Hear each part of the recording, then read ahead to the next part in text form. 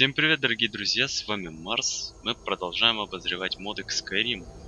Первым модом на сегодня будет мод под названием Enchanted Blood. Он имеет настройки в MSM меню. Тут мы можем подробнее рассмотреть про него. Собственно, он расширяет кровь. То есть, когда мы деремся, когда нас бьют, будут на экране возникать капли крови, которые я продемонстрирую. Кровь оставляет больше брызок, после остается лужа крови. Она переведена в более высокие текстуры. А потом отображение крови на броне, на земле и прочем. Где-то тут бравые воины должны быть, да? Ну давай, для начала ударь меня. Время, чтобы заблудиться, дружище. Вот видите, кровь возникает у нас Разорву твое брюхо, как бабкину сумку. на мониторе. Плюс на броне немного даже появляется. Видите, он меня убивают. ударил.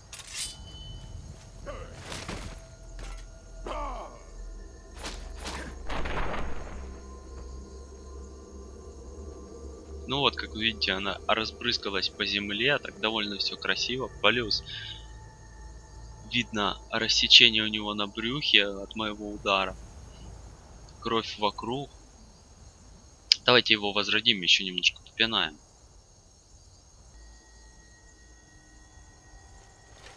Ах, какой сюрприз.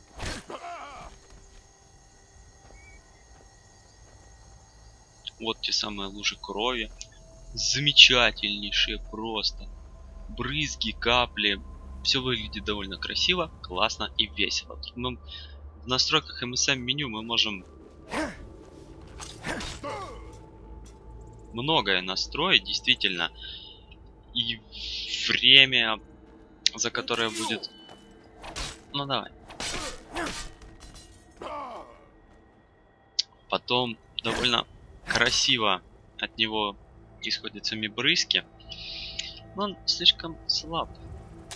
Если еще раз поднимешь на меня руку, я так легко не...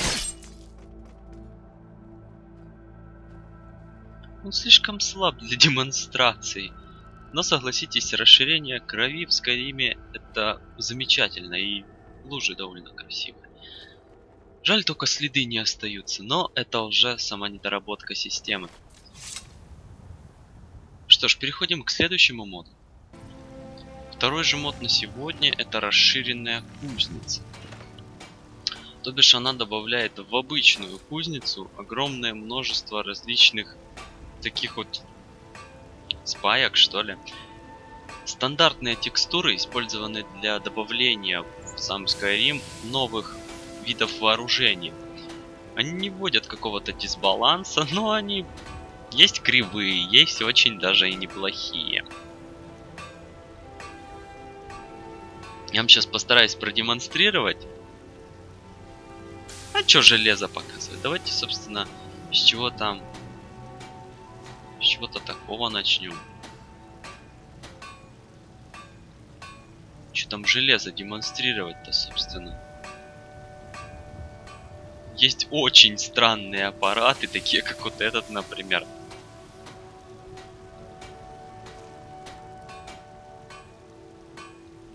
Но оружие интересное. И, кстати, появляются вот такие вот клинки. Это ножи, которые можно использовать обратным хватом. Сейчас я вам покажу. Я скрафтил себе такой э, доэтрический. и Использую его вместо обычного своего ножа.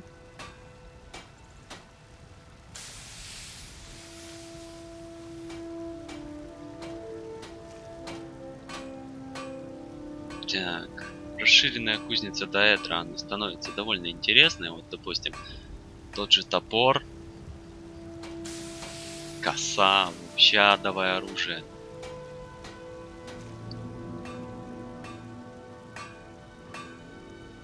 И вот, собственно, клинки. Это скрещенные мечи, как вы видите. Ну, текстуры стандартные, то есть это просто переделанный двуручный меч под одноручку, уменьшенный в размерах. Это нож. Как видите, в правую и в левую руку. довольно интересное оружие, потому что оно меняет хват. Собственно, в бою этого незаметно. Вот даже. Видите, я использую ручку обратным хватом.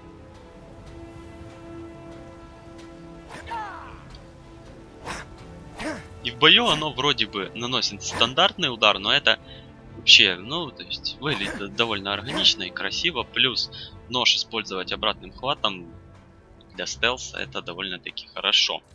Ну, то есть, красиво, изящно и, впрочем, очень даже неплохо.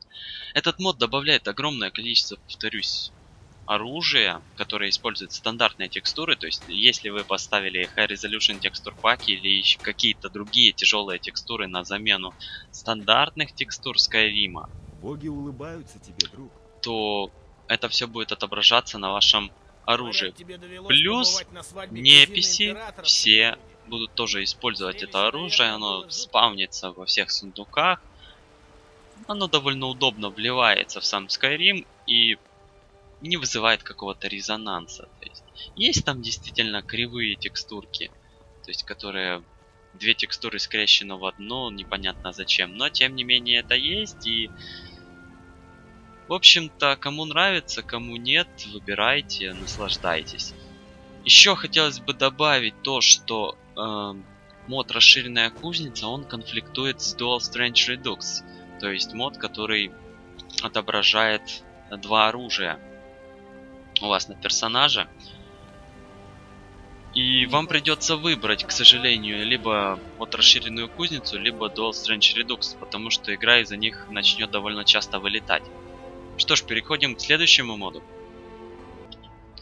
Следующий же мод это броня контрактора. Это кожаная легкая броня, которая крафтится в кузнице в разделе кожаная. Это является боевой броней, она имеет довольно-таки хороший показатель защиты. Ну и как вы видите на самой броне, она видно, что побывала в боях, тут нащерблены от клинков, от стрел. Плюс есть варианты чисто капюшон, чисто маска. Маска, как вы видите, стилизована под череп. Довольно красиво это все сделано. Броня легкая. Повторюсь, это броня контрактора. Тут она переведена в русской версии как броня исполнителя.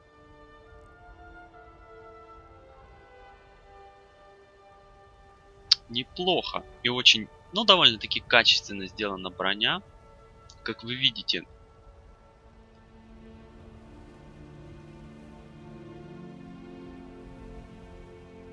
она вся зачаровывается, протачивается. То есть все модельки перенесены нормально в окно быстрого показа. Она никоим образом вообще, ну, для Скарима она действительно странно выглядит, но тем не менее такого рода демоническая броня довольно хорошо вливается. Чем-то мне это напомнило черного жнеца. Для тех, кто в теме, это Darker Than Black. Для тех, кто нет, погуглите. Вот такая вот, собственно, броня. Ну что ж, и переходим к последнему на сегодня моду. Мы находимся недалеко от Ривервуда. А После добавления этого мода на карте появляется вот такая вот метка «Сокровищница Мологабала». Для того, чтобы пройти этот, это даже не квест в принципе, а это испытание, так как хочет этого автор, вам придется добавить этот мод и начать новую игру. Э, По пути прохождения, собственно, основной линейки квестов, вам будут открываться, ну то есть вас будут встречать культисты этого же ордена Молога Бала. У каждого из них будет с собой ключик. Ну, как вы видите, тут 5 сундуков. Давайте мы их по-быстренькому откроем, и я вам покажу, что получится в итоге. Собственно, в каждом из этих сундуков находится часть снаряжения Молога Бала. Рыцаря Молога Бала. Давайте это все соберем. И я вам продемонстрирую уже конечный вид.